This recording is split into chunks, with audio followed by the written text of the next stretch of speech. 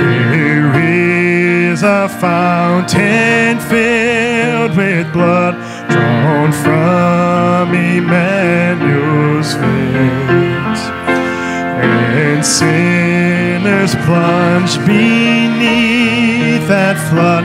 Lose all their guilty stains, lose all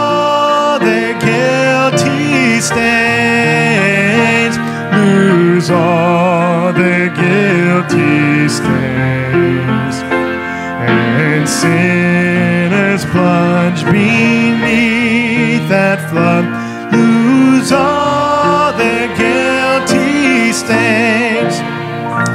The dying thief rejoiced to see that fountain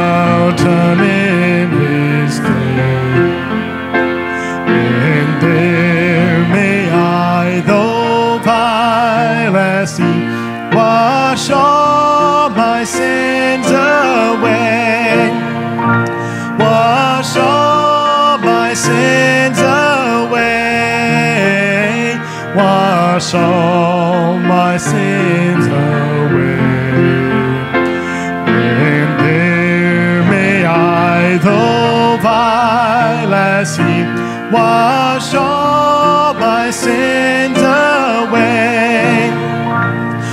When this poor lisping, stammering tongue lies silent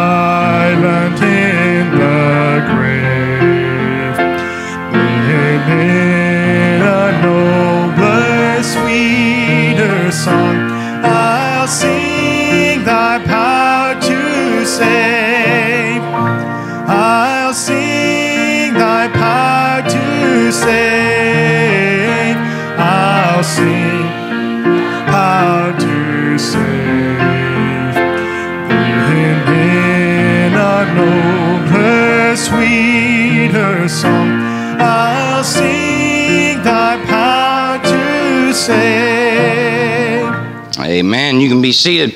Uh, I'd like to welcome everybody to our service. We're glad that you are here. Uh, just a handful of announcements. Uh, next Sunday, being Easter Sunday, uh, we're praying for that service and we're praying that, uh, that the Lord would bless us with His presence. Uh, but we are having an egg hunt for the kids, and if you would like to donate some eggs filled with candy, uh, if it's good candy like Shock Tarts, you can put it in my office. If it's anything else, you can leave it in Brother Nick's office. Um, but that again, that is next week, April the 9th. There is a teen rally. Uh, they'll be going to Jacksonville. Uh, there's a sign-up sheet in the foyer for that. Cost is $10 per teenager from 4 to 11 uh, there on uh, April the 9th. Uh, April the 11th, our Teen Girls Bible Study. Uh, April the 17th, juniors uh, are taking a junior activity to Simply Natural uh, Creamery. Uh, and then April the 18th, uh, directly after the morning worship service, we'll have a King's Daughters meeting. A couple of things that aren't on the uh, uh, the bulletin that you got this morning or this evening. Uh, April the 25th, we are planning a baptism Sunday. Uh, April the, the 25th, that Sunday evening, we'll be having baptism. So if you have given your heart and life to Jesus Christ and have not followed through uh, with believers' baptism, I would love to talk with you about it. And uh, uh, you can approach me and come to me anytime, talk to me about that, uh, and we can uh, make sure that. Uh, that you become uh, or that you are scheduled to be a part of our service. Uh, and then that following week, which is May the 2nd, uh, we are having church membership. We have a handful of folks that have a desire to join the church, and so that's always a good thing. Amen. Amen. I'm glad a couple of you are awake. It's always a good thing to have folks want to join the church, and so uh, that'll be May the second. If you would like to uh, to take part in that service, to become a member, again, I would love to talk with you about it and go over some things and um, uh, and, and look at what the Lord has for us concerning church membership. But uh, you can see me anytime about that. Church cleanup uh, Sunday afternoons. If you would like to, your family would like to volunteer to help out with that, we'd be very thankful. Sign up sheets there in the foyer. And then uh, this uh, this week, Emmanuel Church in Lagrange is having uh, revival with Wayne Johnson, very good preacher, dynamic preacher. Um, and so we'll, uh, we're planning. I haven't made any specific plans, but I, am planning on being there at least either Monday or Tuesday evening. Uh, if you would like to go and uh, maybe need a ride, or maybe would like to schedule something, or you can just meet us there. Either way, it's just up the road a little ways. Uh, but that is this uh, week, and so. Amen. That's all that I have as far as announcements uh, at this time. We hope that you enjoy as our choir sings for you.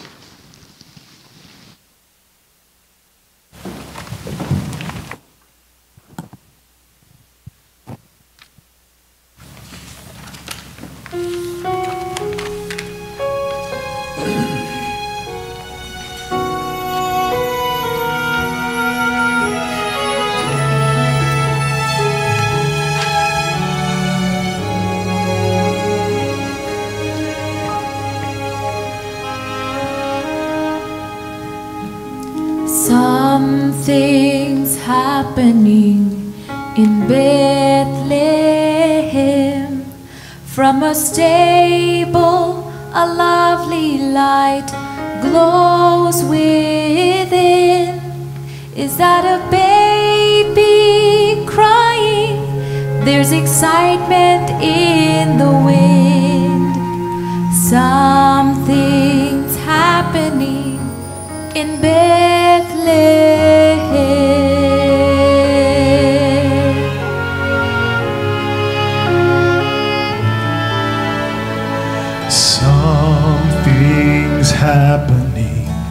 In Pilate's home. On the porch, Pilate pleads with an angry mob.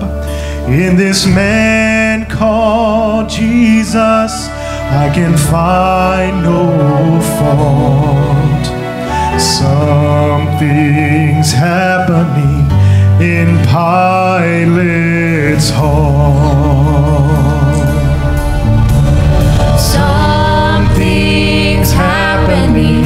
At Joseph's grave, where Jesus of Nazareth has lain three days, very early in the morning, how the earth begins to quake. Something's happening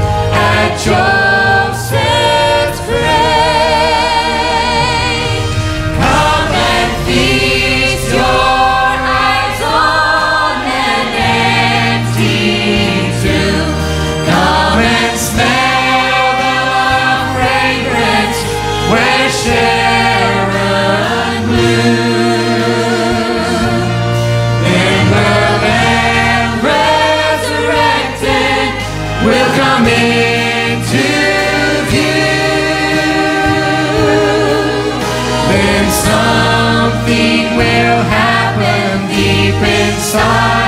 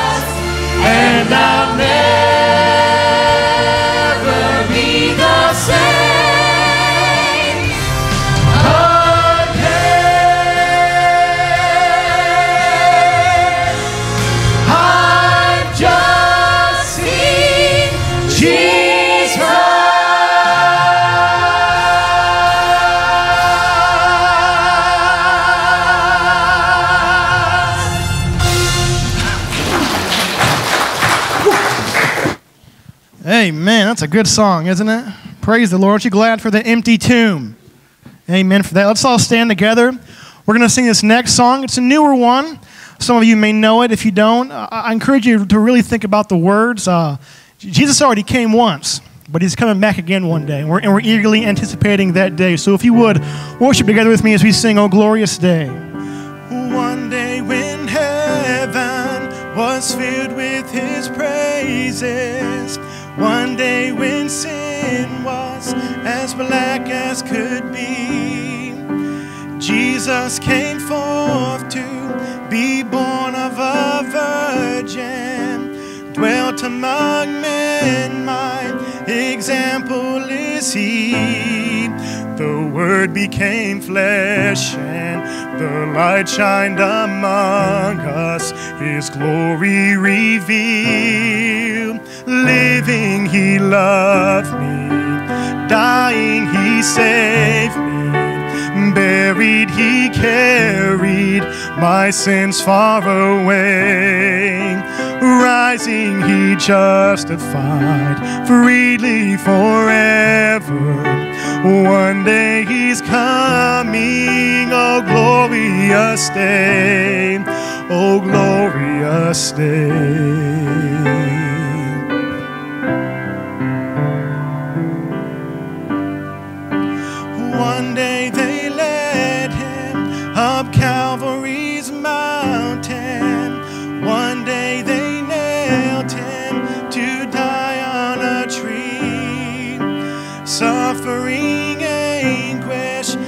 Despised and rejected, bearing our sins, my Redeemer is He.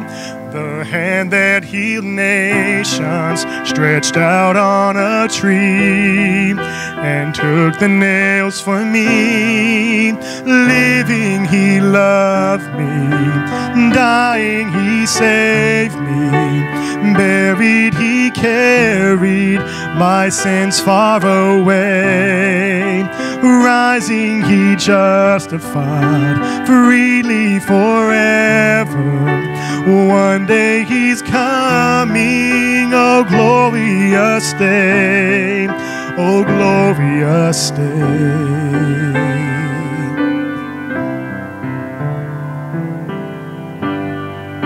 One day the grave could conceal him no longer. One day the stone rolled away from the door. Then he arose over death he had conquered. Now is ascended, my Lord evermore. Death could not hold him, the grave could not keep him from rising again. Living, he loved me, dying, he saved me. Buried, he carried my sins far away. Rising, he justified freely forever. One day he's coming, oh glorious day, oh glorious day,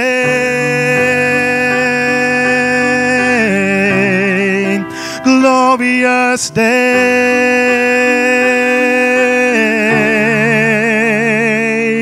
One day trumpet will sound for his coming. One day the skies with his glories will shine. Wonderful day, my beloved one bringing. My Savior Jesus is mine. Living, he loved me. Dying, he saved me. Buried, he carried my sins far away. Rising, he justified freely forever. One day he's coming, oh glorious day, oh glorious day,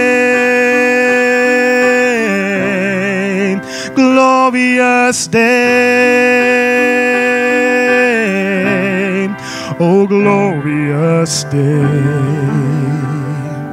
Amen. What a glorious day it's going to be, too. Thank you so much for that great singing, Pastor. Amen. Uh, at this time, we'll ask our ushers to make their way to the front. Uh, we're going to take up our um, uh, Sunday, I about said Wednesday evening. Um, it's been one of them days, amen. Uh, we're going to take up our Sunday evening tithe and offering opportunity to give back to God. Uh, he, we should be faithful in giving Him what He requires out of us, which is our tithe, and be faithful uh, to give according to what He leads us to in our offering. And so this is our uh, opportunity. I'm going to ask Brother Sam, would you pray over the offering?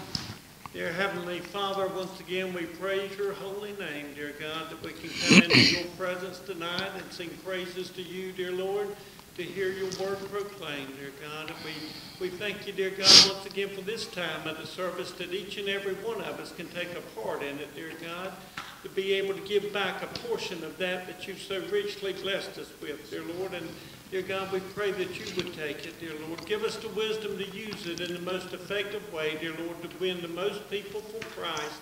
Well, dear God, that, as you know, is what it's all about. And always give us that desire, dear Lord, to see the next person saved. For it's in Christ's name we ask and pray. Amen. Amen. You can be seated.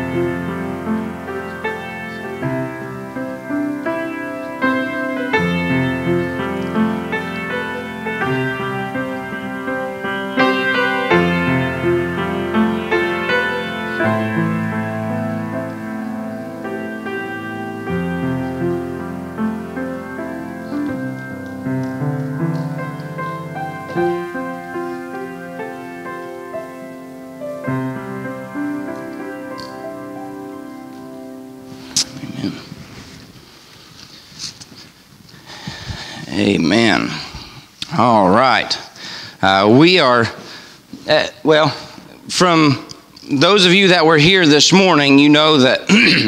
that I preached, my voice almost completely gone this morning. It almost went out completely twice, and so uh, I was I had a sermon ready for this evening. I'm hoping the Lord will let me preach it another time, but uh, I felt as though He was leading me somewhere else. Sometimes He has to uh, be a little bit forceful with me and kind of telling me to just shut your mouth and, and do what I tell you to do. And so that's, I'm guessing that's what his plan was for that. Uh, my voice doesn't uh, sound all that bad right now. About two hours ago, I couldn't hardly say anything. And so um, uh, uh I looked at a, a, section of scripture that the Lord had laid on my heart uh, within the last uh, couple of months. And I've really been thinking about it and the realities of what, what we're going to face and what even our children are going to face uh, in the future. And those kind of things, uh, they, uh, they can make uh, me feel a little reserved. I'm not afraid of what they're going to face because the same God who leads me is going to be able to lead them. Uh, and I have faith and I have trust in Him.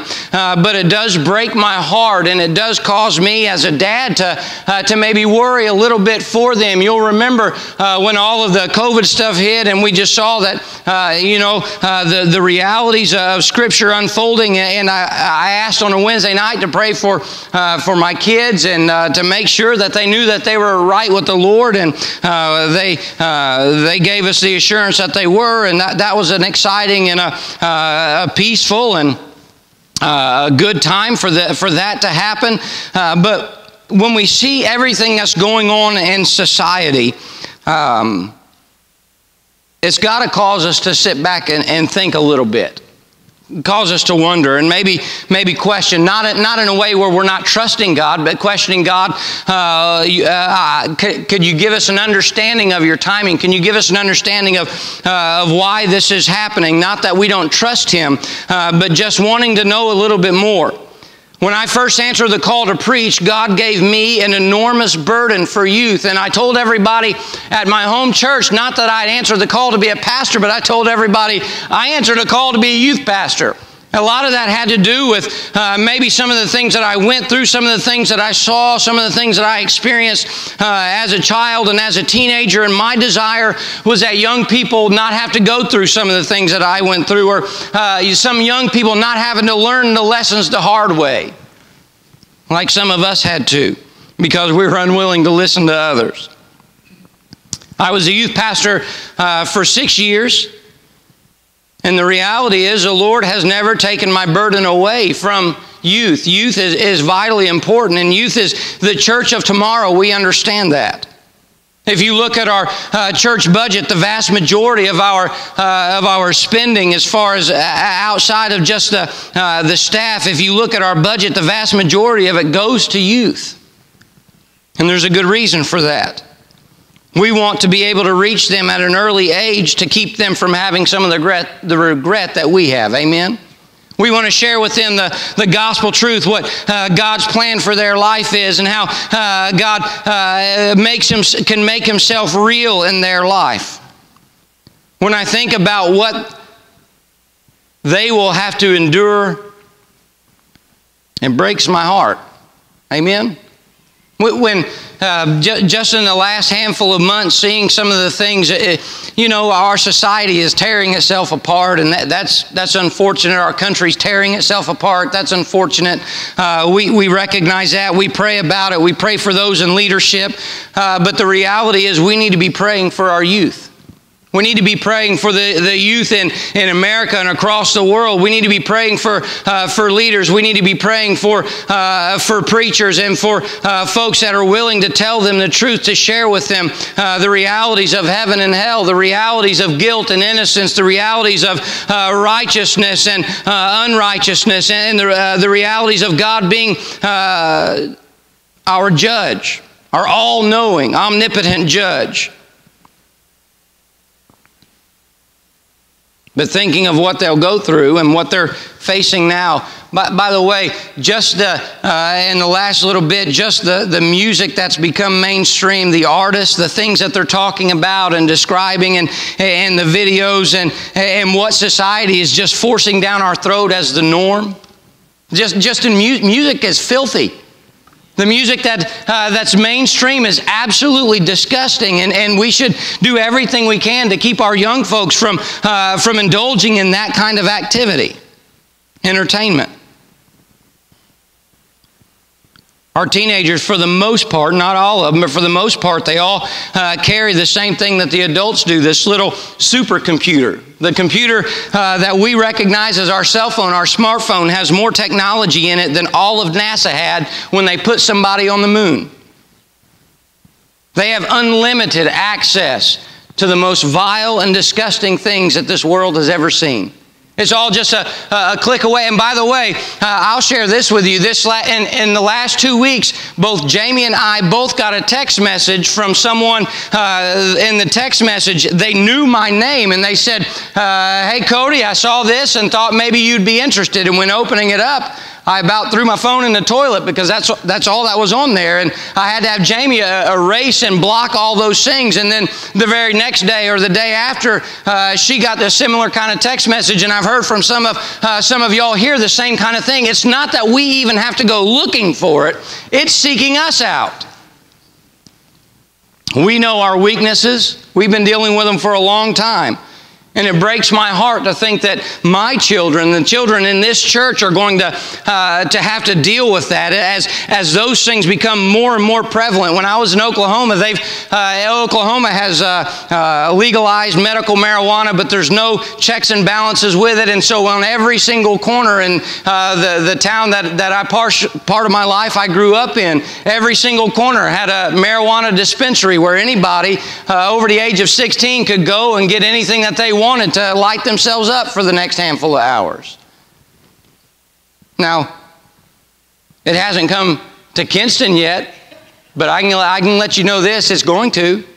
They're already setting up the stores for it. The, uh, uh, the different uh, kinds of smoke shops and all that that's coming through they're, they're setting it up for it and i believe with all my heart I, I, i've I don't say this in a prideful way. I've tasted everything that this world has to offer. I've tried it all. And I know that, uh, that things like marijuana and alcohol are gateway drugs that just lead to harder and harder things that ruin and destroy lives.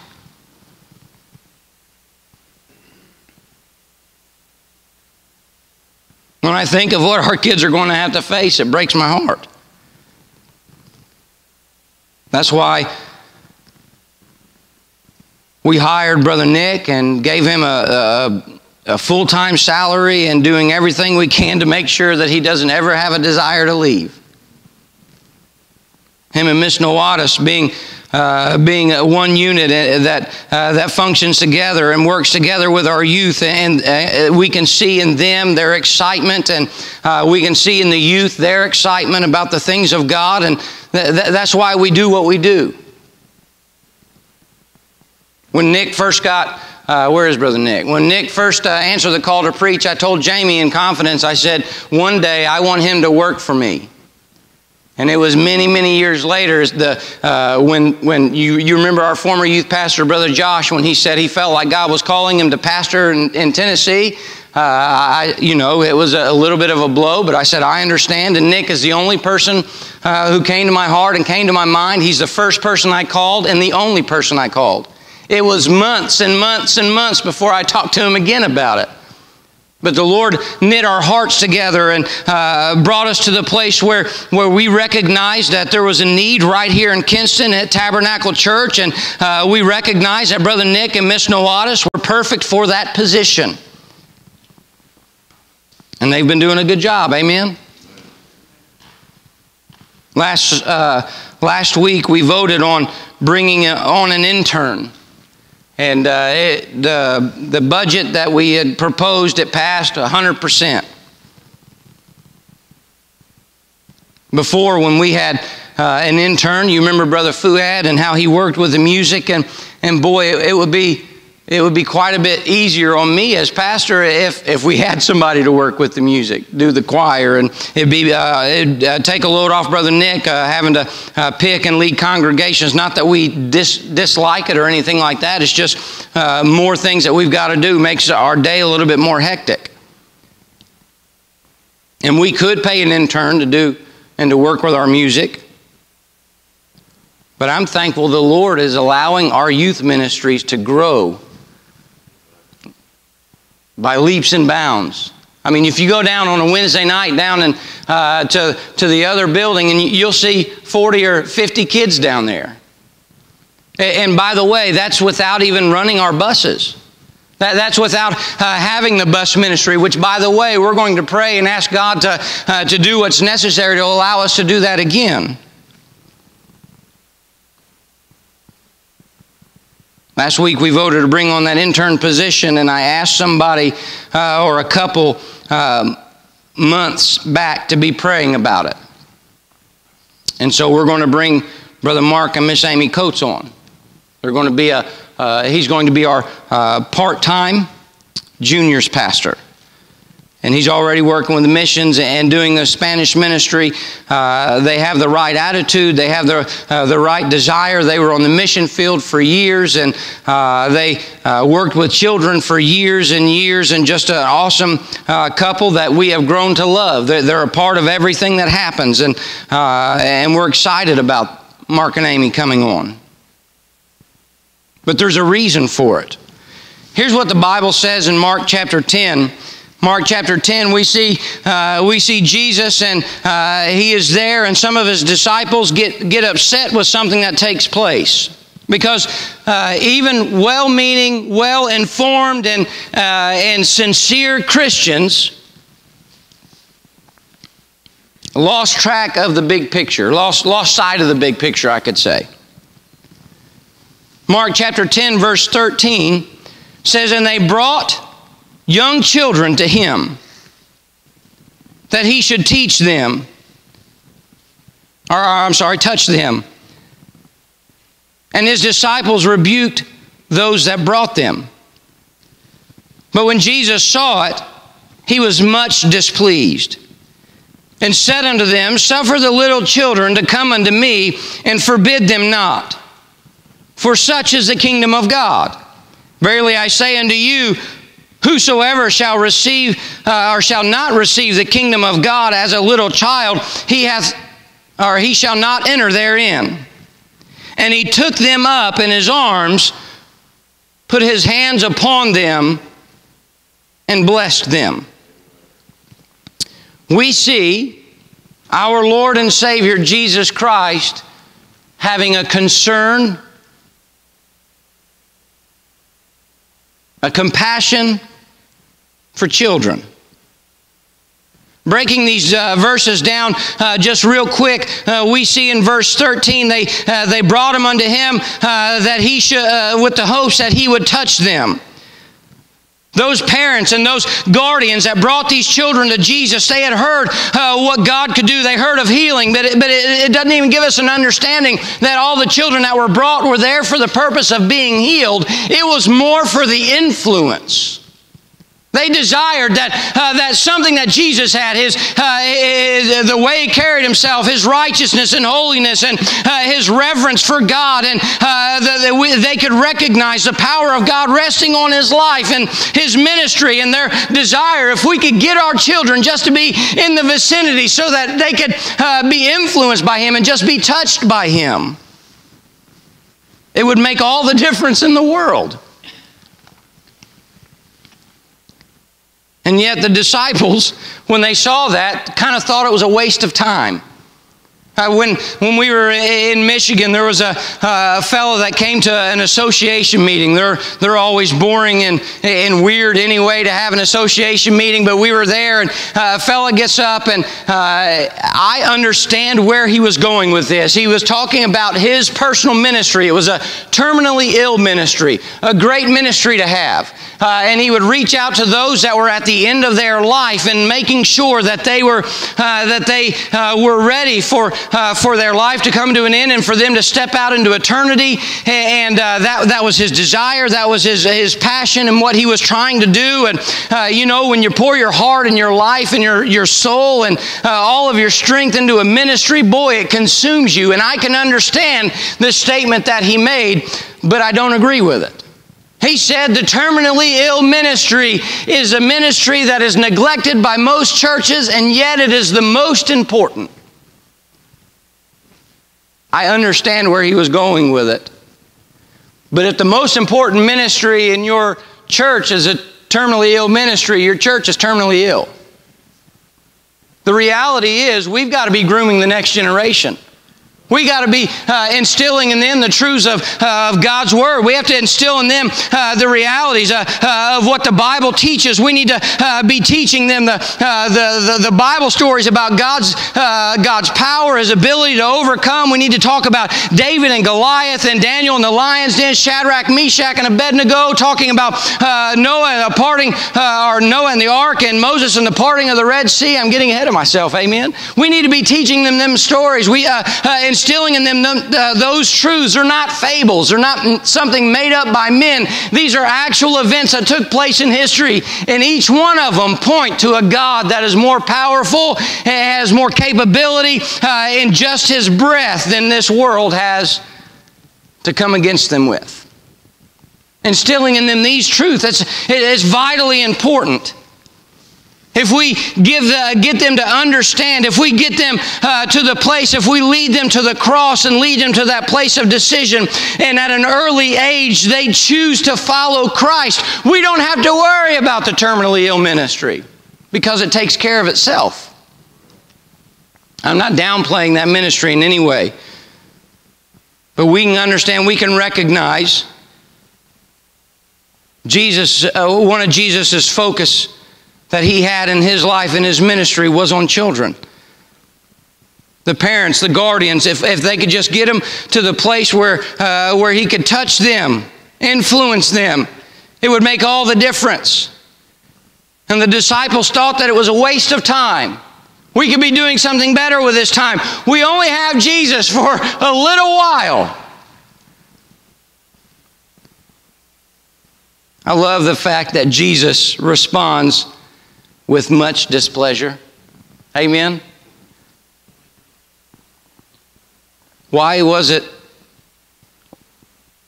he was much displeased?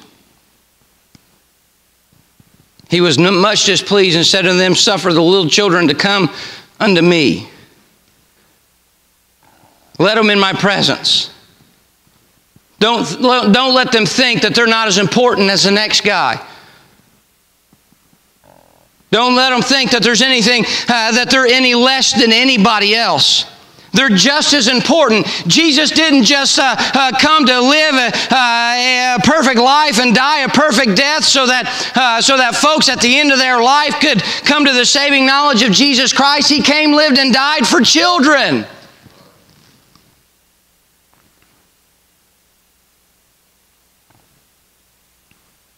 And then we see him using them as an example. He says, by the way, disciples, by the way, adults that are here, if you come uh, to me or try to get into the kingdom of God in any other way than this same kind of childlike faith, you're going to be sore displeased as well. It's not going to work out the way that you had intended for it to work out. And then we see probably one of the most uh, tender-hearted and compassionate scenes, other than the, uh, the scene of the cross and Jesus dying for all of humanity. We see Jesus in verse 16 take them up in his arms, put his hands upon them. This, you know, we, we live in a, a time in our life where, uh, where even the uh, religious leaders and those that should know better and that teach better, uh, that they're making poor choices and doing stupid and disgusting things. And when we, we look at a verse like this, you know, uh, sometimes we, uh, as preachers, we say, man, I don't want to say that, not because I'm afraid of preaching the whole counsel of God, but I don't want to uh, produce in anybody that, the, the thought of maybe anything inappropriate. Jesus never did anything inappropriate. This picture of him touching, uh, laying his hands on them is a picture of our Lord and Savior Jesus Christ as he takes them up in his arm, lays his hands on them. This is a picture of him being so uh, overwhelmed with his compassion for them that he is praying for them. God, do something great in their life. God, protect them. God, help them to make wise choices. Father in heaven, do what's necessary uh, for them to come to the saving knowledge of Jesus Christ at the early age. That's what we see happening here. Taking him in his arms, putting his hands upon them, and blessing them. I'm thankful for our increase in the youth ministries, both the teens and the juniors. Not because of numbers, but because of potential.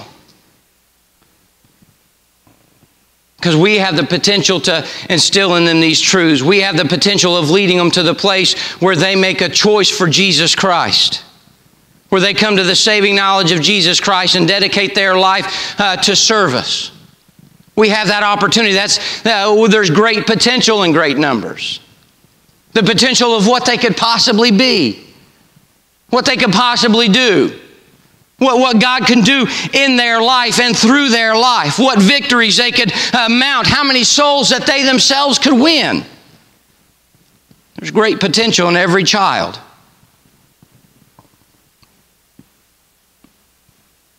God's given us an amazing opportunity to leave a lasting impression on, on these young people.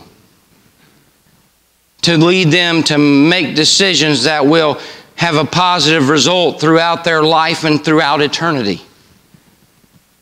To instill in them the truths of God's Word so that so that they don't have the regret that some of us have.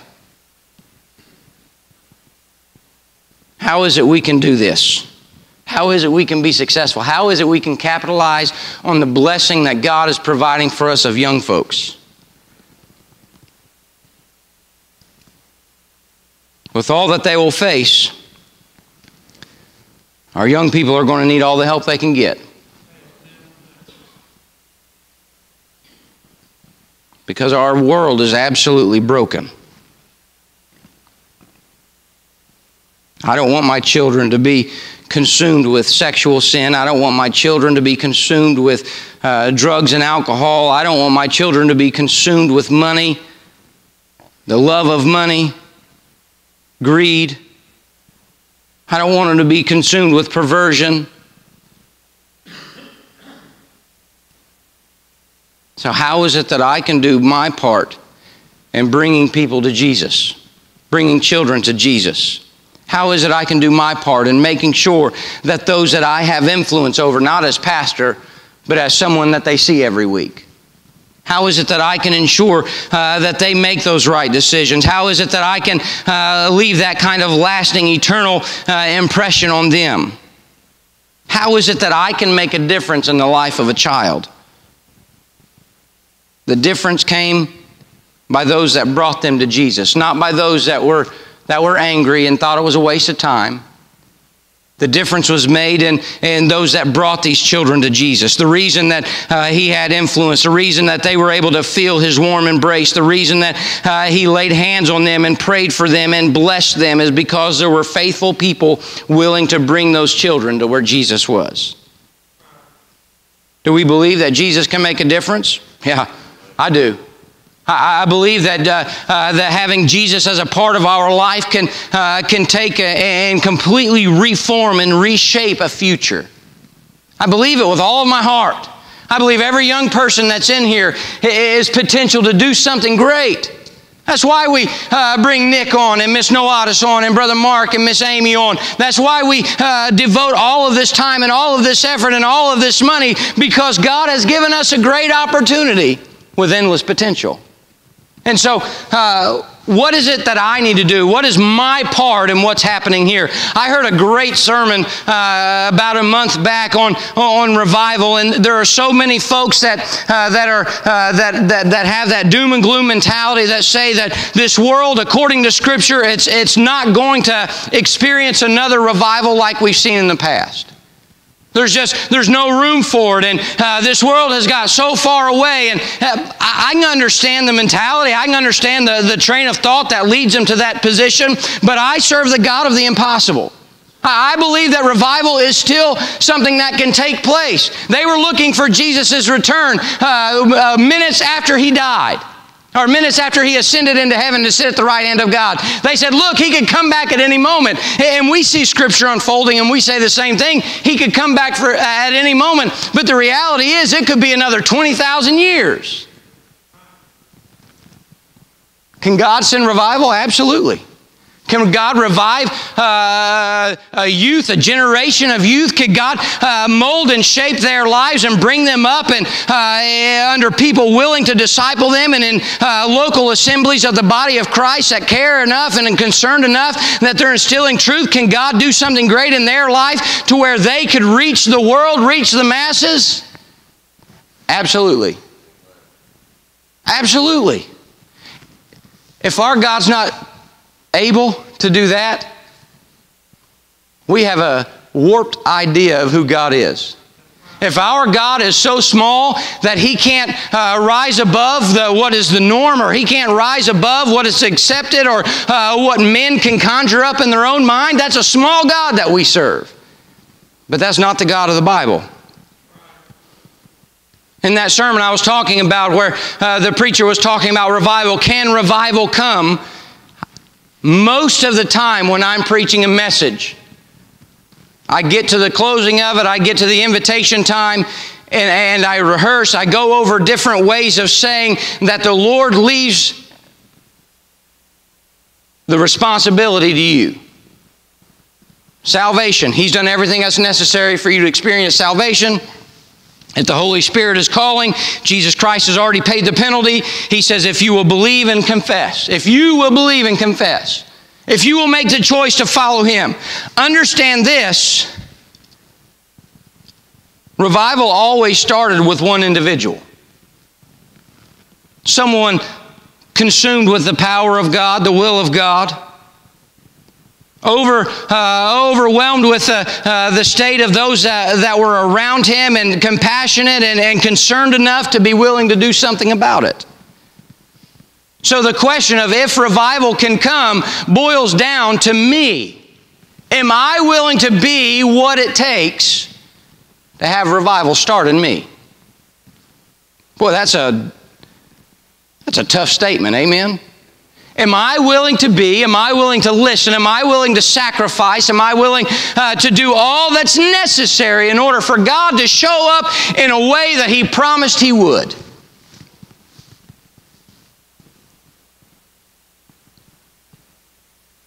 I hope for our youth the answer is yes. I hope for the sake of those that we love that the answer that we give inside of our own heart and our own mind is a resounding yes. I am willing. Second Chronicles, very familiar section of scripture. I quote it all the time. Chapter 7, verse 14 gives us the key of how we can experience this revival. If my people, which are called by my name, will humble themselves and pray and seek my face and turn from their wicked ways, then I will hear from heaven, will forgive their sin, and heal their land. That's a picture of revival, isn't it? So the question as we're thinking about and pondering bringing children to Jesus and that making all the difference. And as we think about what it is that they're going to have to face, I mean, uh, society is attacking them, uh, attacking their gender, attacking the, uh, the, the, the, color of their skin, attacking uh, the way that they're raised, attacking them on every front. They feel shame just to, uh, to, to be what the doctor says that they are. They feel ashamed. Uh, uh, they feel out of, out of place. They, uh, they get mocked and ridiculed and pulled every single direction.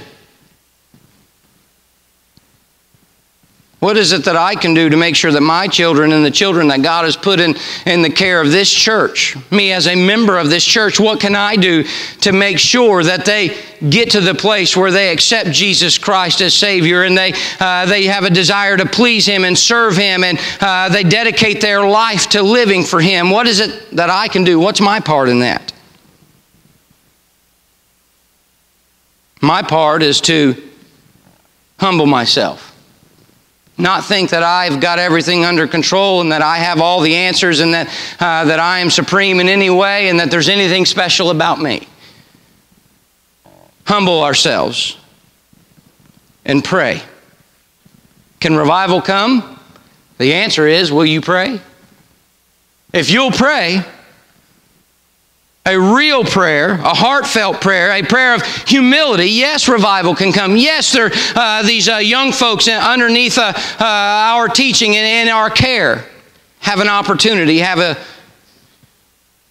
potential, a good potential future if we'll pray. How about seeking His face? Are we willing to do that, church? How about turning from our wicked ways? You know the story in the Old Testament where uh, Achan was, was forbidden to take anything, and, and yet Achan took those things and uh, he took it into his tent and he buried it in the ground, and he thought nobody knew about it. But as a result of him doing something that God forbid, uh, it caused the death of, of soldiers and it caused uh, the armies to start losing because one person had did what was wrong in the eyes of God.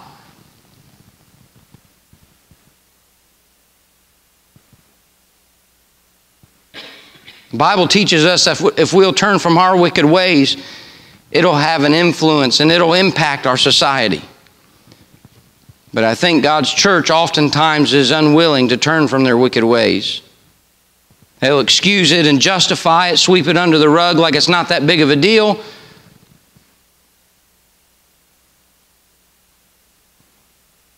All along, we're leaving our young folks exposed to the wrath of God and the wiles of the devil. He says, If my people, which are called by my name, will humble themselves, pray, seek my face, turn from their wicked ways, I will hear from heaven. I'll forgive them of their sin, and I will heal their land. The folks that made the different in the life of these young people were the ones that had enough spiritual integrity and understanding to say, if I can get them to a place where Jesus has influence over them, it'll make all the difference. That's what God is doing for us and allowing our youth to get big. Again, it's not about numbers, it's about the potential that exists there. God's given us this amazing opportunity. What are we willing to do about it?